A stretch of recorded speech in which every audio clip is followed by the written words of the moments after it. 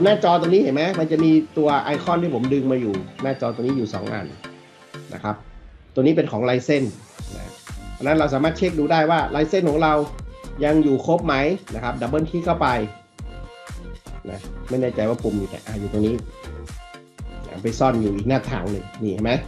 ตอนนี้ผมเพิ่งต่อไลเซนมาใช้ได้อีก29 วัน แล้วก็มีเครื่องหมายถูกสีเขียวๆอยู่ แสดงว่าโปรแกรมตัวนี้พร้อมใช้งาน นะครับ คุณจะปิดไปก่อนก็ได้นะหรือคุณจะเช็ค license คุณก็กด double click ขึ้นมานะครับ ตัว license มันก็จะโผล่ขึ้นมาเห็นไหมครับ เพื่อเราจะได้เช็คนะจริงๆแล้วเวลาคุณใช้โปรแกรมไปแล้วแล้วมัน save ไม่ได้ มันปริ้นไม่ได้ แสดงว่า license มันขาด คุณก็ต้องไปทำการต่ออายุ ต่อไปเราจะเข้าโปรแกรมละนะครับ double click ขึ้นมา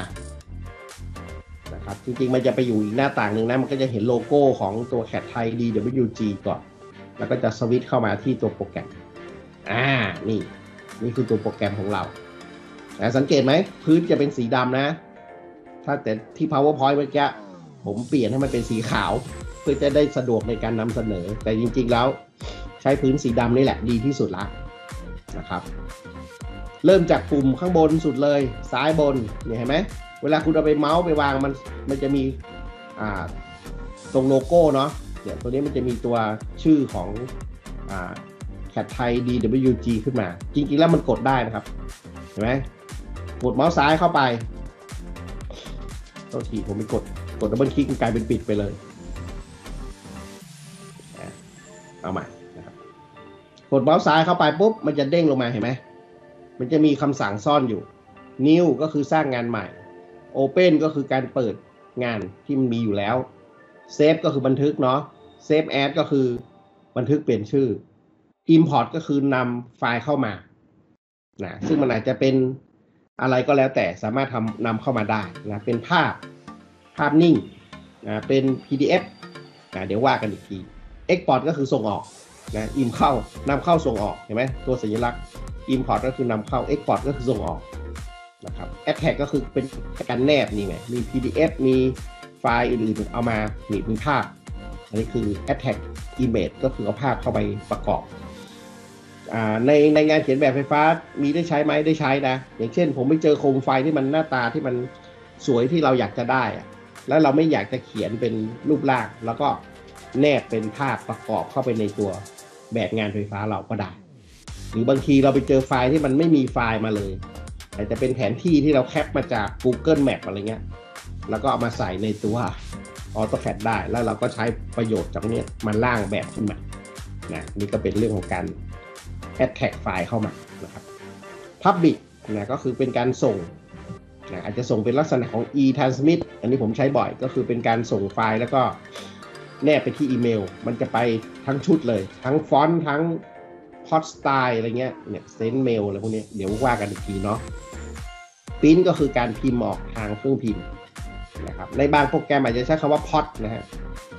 ถ้าเราไปเจอบางโปรแกรมเขาอาจจะใช้คำว่าพอดแต่โปรแกรมตัวนี้ใช้คำว่าพิมพ์แต่เขาจะมีพิมพ์ preview ก็คือมองมองก่อนพิมพ์เลยอะไรเงี้ยแต่เราอาจจะต้องมาเข้าไปตั้งค่านะครับพิมพ์ style manager นะพิมพ์ option หรือว่ากันนะครับของพิมพ์เนาะอันนี้เป็น drawing utility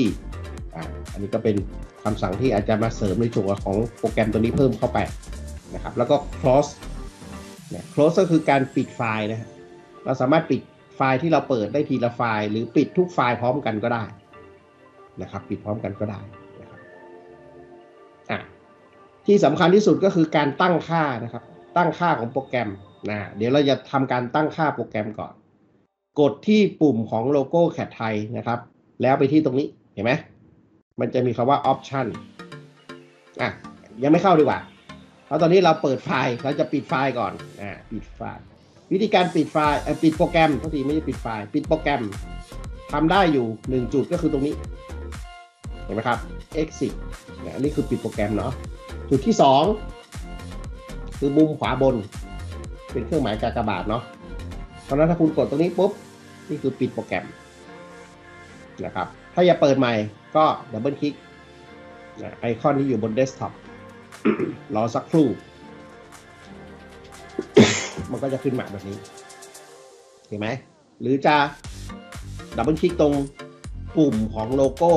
มุมซ้ายบนก็ได้เดี๋ยวเมื่อกี้ผมใช้ double click เนาะ double click ก็คือการคลิกเร็วๆสองครั้ง มันก็จะเข้าสู่การปิดโปรแกรมนะเห็นไหมปิดได้สามจุดอะ จุดตรงนี้เป็นจุดที่เราคุ้นเคยมากที่สุดเนาะมุมขวาบนดับเบิลคลิกมุมซ้ายบนก็ได้ หรือกดโลโก้ลงมาแล้วก็มากดตรง exit ก็ได้นะเพราะนั้นปิดโปรแกรมแล้วแต่สะดวกของท่านนะครับ อยากจะปิดตรงไหนปิดได้เลย